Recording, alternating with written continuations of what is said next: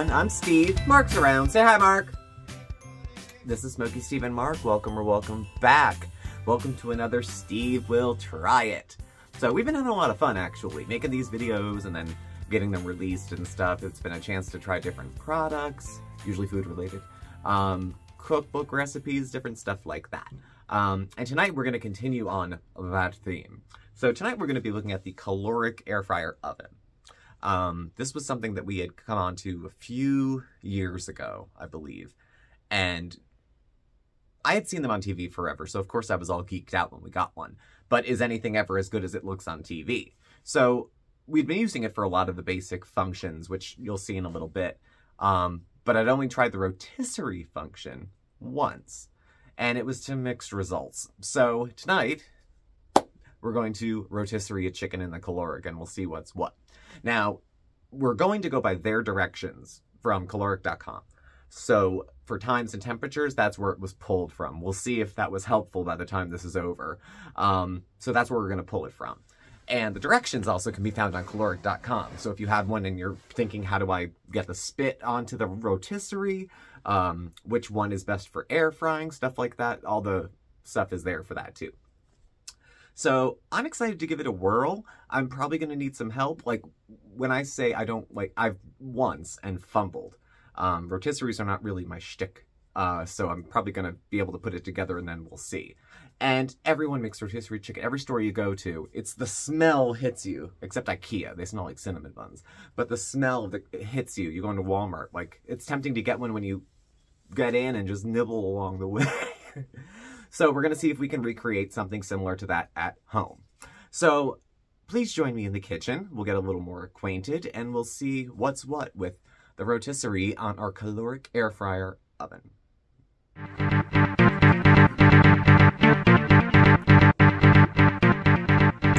Welcome to the SSAM News Desk, and we have some exciting news for you. The company Kalorik has just released its Hot Max advertising campaign, and it's self-described as trendy and happy and provocative. Hmm, and we have a sneak peek exclusively just for you. Girl, all my friends keep getting burnt and deep fried by jerks. I'm craving a healthy relationship. Yeah, someone who knows how to butter my biscuits. Hey, you talking about me? I finally found a good one. Smart, so hot, powerful.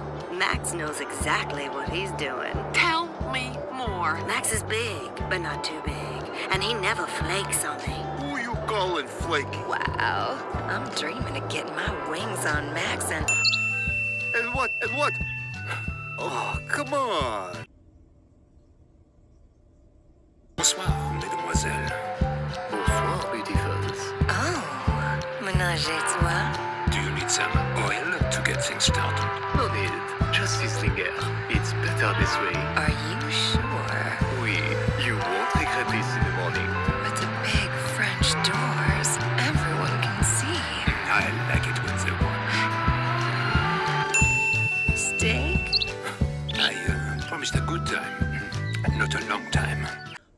Promised you a good time, not a long time?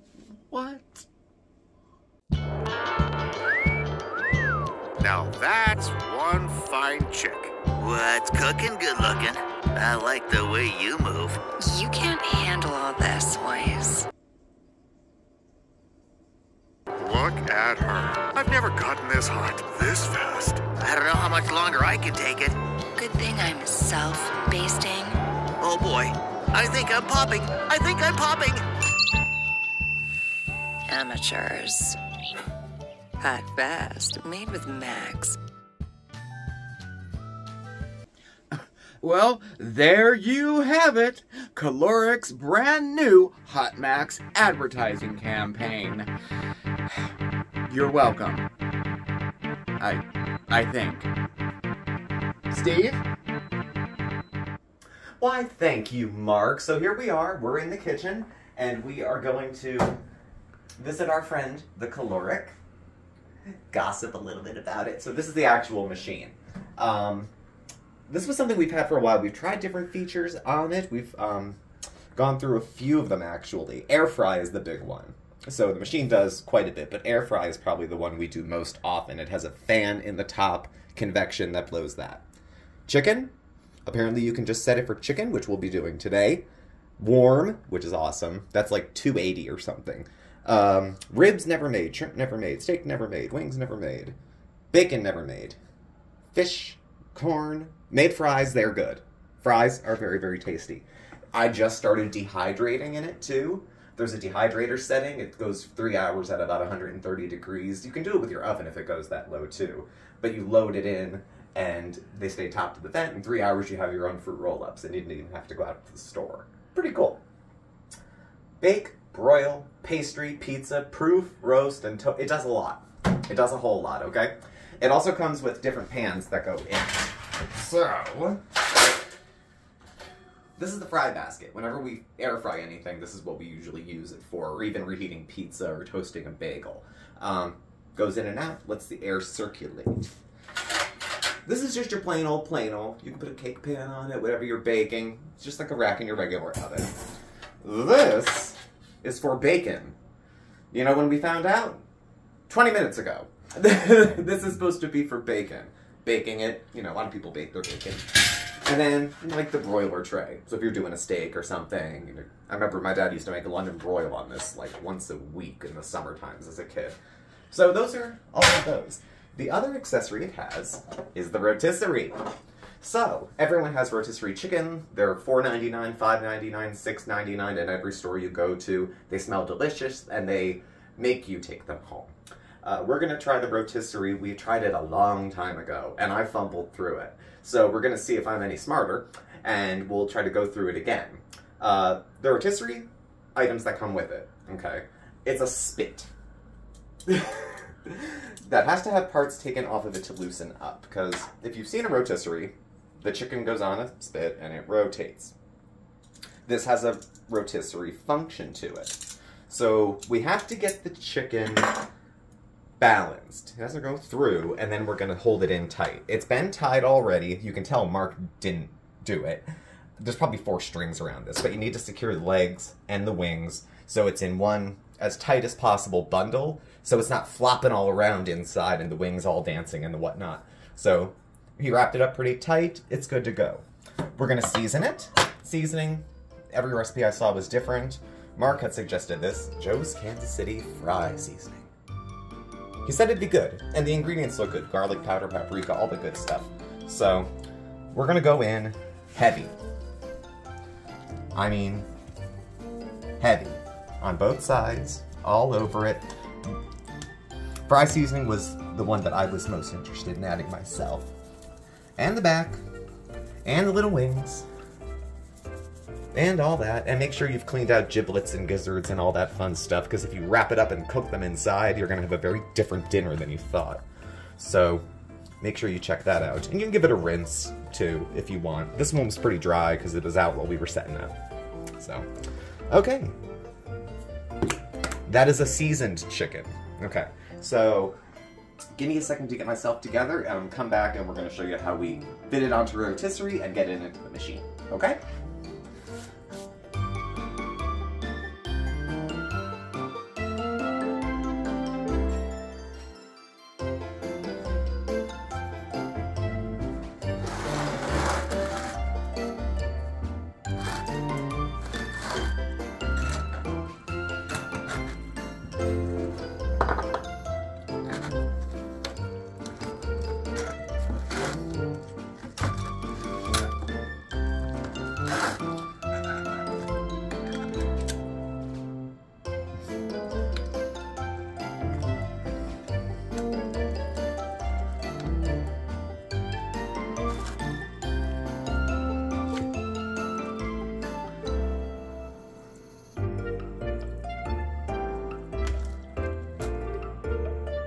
Ta-da! Very nice, huh? I had a little assistance uh, getting this centered on the spit. The concern that if it's not centered and the weight's not even going around, more or less, is that it'll go for two hours till it's done, or however long. Um, one second before we go further, our last step is just to put this in and then set the time.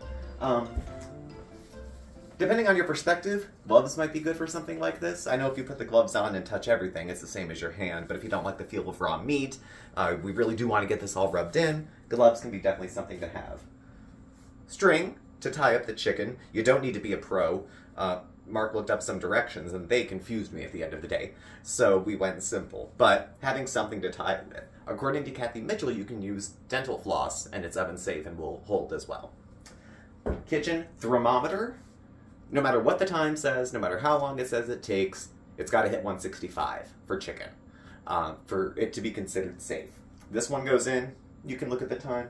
You could also, which came with our machine, have a probe thermometer, which you can put into the meat, and then it will let you know when it gets up to a certain temperature. When it hits 165, it'll let you know. Now, the rotisserie, I don't think it'll work because it's going to be rolling all over the place.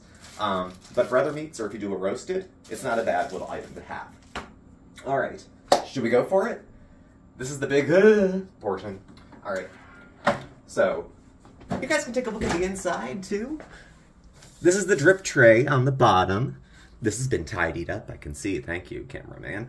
Um, and then the heating elements are down here, and then there's a fan with a heating element on the top. It has two functions, air fry and bake. So if you hit bake, you get, I'll show you that. Air fry. And that's all of the ones we did here. They're all lit up. It starts with air fry. On the other side is bake. Bake will do this bottom row of things. So bake, broil, pastry, pizza, proof. That's a lot of alliteration. Um, you use that. But we're gonna go with the air fryer. We're doing air fried rotisserie. And from the Kalorik website, stop it. Okay. From the Kalorik website, they recommended using the chicken setting. We'll put it in, and the rotisserie function automatically starts. And from that point on, it said use. Um, I'll get it when close it. The chicken setting they have, which is 435 for 40 minutes, I believe. So we're going to give that the time. But again, keep the thermometer. So we're going to load it in. The long piece over here is different than this one. This one with the notch in it is going to go on the left side. This one goes on the right. So that piece goes in. And then the other piece goes right there. And it's it's levitating. All right, so we're to close her up. Chicken. That's the setting we're to be using. Okay? And it should just go. Let's see if it's spinning. If you hear a whoomp thump, then the weight's off a little. A little of that is okay, but you might actually screw it up or hit the chicken on the cooking element or anything like that. But we seem to be good. The cameraman seems to be really good at cooking. So um, this is going to go on their time for 40 minutes. At 40 minutes, I'll open it up and we'll temp it. If it looks like it's turning black before that, we'll intervene and let you know. But otherwise, we'll see you in 40.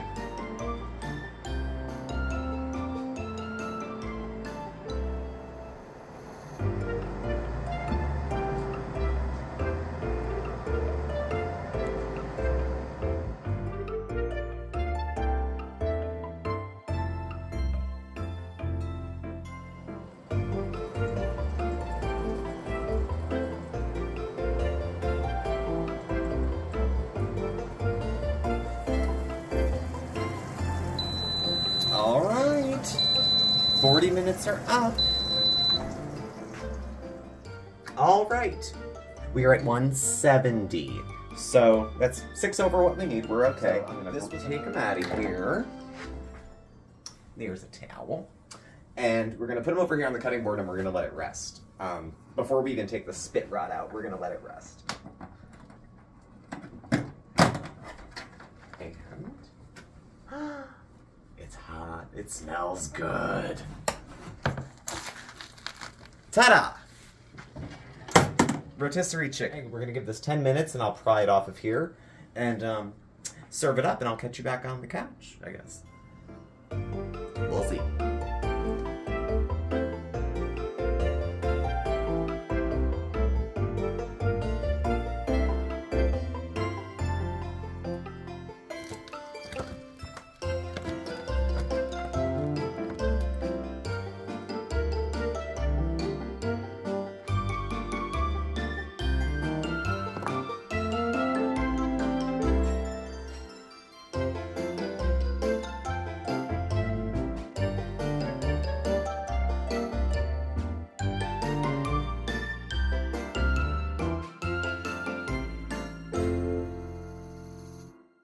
Hey guys, hey, Marc invading Steve will try it again. So, okay, you may be wondering what happened to Sophia. You know, we were watching the Sophia Chia head to see, you know, see how she grew over over the weeks. and she didn't grow. Epic fail. What? And you want to know why? Well, first of all, we forgot to water her.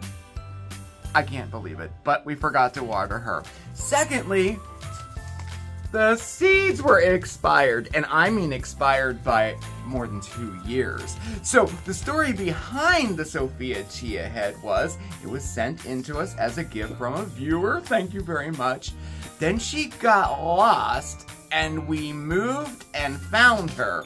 Now I knew we had her for a little while, but I didn't realize we had her for that long. So of course it didn't work, right? But never fear, I got some new chia seeds. Oh yes I did. And we redid Sophia. Doesn't she look pretty? And the seeds even look better now. And she's watered too. So we'll call this Sophia Chia Head round two, and we'll keep watching her as the weeks go on to see what she does. Chia.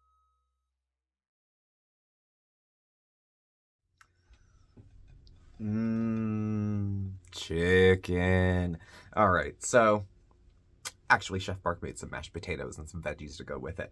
So this is one half chicken. This is a four pound chicken. This is two pounds of meat here. Um, and it looks pretty good. It's, I thought it was darker than I liked, but then I'm remembering there's some darker chickens there too. And they seem to shrink back a little bit from the skin when they sit like under a heat lamp and those things. But I'm going to give a little nibble to ours. I haven't tried it yet. The skin is very crispy, which is good. Here we go. Just a little bite. Mm, okay. So the fry seasoning works very well. I'm almost getting like throwback rotisserie chicken vibes from like probably Wegmans. They have the nicer ones. Um, but it's been good.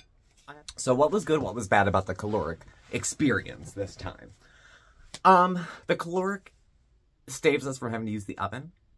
It allows us to have features from appliances we don't own. We've been checking out a lot of the new features lately. Um, lately, I've been dehydrating everything under the sun. As I told you earlier, Marc will get some bags of frozen fruit from like Dollar Tree. And if I have some apples on their way out, just puree everything up and, and make them on the dehydrator setting. They take about three hours or so, and they're they're fun. I can make some of those too. Um, the convenience, it's great for like warming up pizza. The air fryer portion is good for like egg rolls, munchy platter stuff, chicken fingers, all those things come out okay. They're one of the better success stories, I think, of the air fryer. As far as meat, I haven't cooked anything other than a rotisserie chicken and a meatloaf in there. Other stuff, like at Christmas, we're going to use the regular oven. So those were the good things. Um, negative things that we found. The French doors that open, initially, Marc and I both were like, that's, it's one we liked about it. They're kind of flimsy when you open them. If you bump into them, they slam shut. If you go in to pull something out of the rack that's inside of it, and you bump the side, it'll close itself shut, and it's hot. You could burn yourself on it. So the French door thing in the front sounded cute, and actually was a selling point, but I don't like it, honestly. I'd rather a pull-open door. Um, it would be less prone to injury for people who are accident-prone, like myself the writing on the outside of it. So on the settings portion where it has air fryer baking, time up, time down, turn off, all the writing is gone over what each button is. So you just have to know, um, which is not a big deal, but I mean, I use it more often than Marc does. And there's no writing, there's nothing to see. So he, we have to, it's a team project because I remember what it used to say. Um, that was something that kind of irritated him. What else? Um, writing came off, the doors. I can't think of too much else bad. Like, but suffice it to say, I think it's pretty good. I actually like the Kalorik. It was, I think, a good investment because it's lasted more than like two weeks. Um, it's not the least expensive air fryer on the market, but I think for the fryers that are jumping from the basket, which I think most people, if they have an air fryer, it was their first one with the basket in it. Now they have the ones that look more like toaster ovens, like we were using now. I know Emeril Lagasse has one out. Um, there's a couple other people that throw their names on products that have a similar one out. So when you're Googling cooking times. Try to Google the name if you're looking of your machine to see what their recommended cooking times are. Not always helpful because this was still 10 minutes too raw when we pulled it on their clock, but um, finding the recipes and the times and everything, they're not universal because not all air fryers are the same, but close. And always temp. Always temp the meat. You don't want to get sick. You put in a lot of work. You had to wash your hands a thousand times and then rub a chicken. The last thing you want to do is get yourself sick by not cooking it enough and cleaning up our space afterwards with something that's antibacterial. So, um, I will give the rotisserie two thumbs up, actually. If I'm going to judge the Kalorik rotisserie for the chicken that came out, the chicken looks good. It tastes good. It's not, like, burnt. It's not raw. Marc made some sides. And I have to say I approve. I love the wings. Usually wings are a part that I will take. Um, and they look, they look cute too. So I am giving an official two thumbs up to our Kalorik air fryer oven. We we found out more and more features as we go. I'm interested in making yogurt in it maybe next. Um, dehydrating some other stuff besides just for roll-ups, maybe some other things we have. Um, using it during the summer to dry some stuff and store for later. Certainly every summer it seems like, even if you don't have a garden, you have enough zucchini to, you know, fill up the back of a pickup truck. So, um, so that's all we have for today. So thank you for joining us. Thank you for being here. Um, if you have any ideas for any products you'd like to see, definitely comment below and we'll see what we can see what we can find. Um, and that's all she wrote. So thank y'all for joining and thank y'all for watching. Please do subscribe, hit the notification bell. You get alerts when we have new videos and go live. Uh, we're on Facebook, Instagram, Twitter. It's all in the description below. Thank you, and we'll catch up with you soon. So I'm going to go enjoy my chicken. And maybe I'll share with Marc. We'll see. I probably will. All right. Have a good night, everybody. Say goodbye, Marc.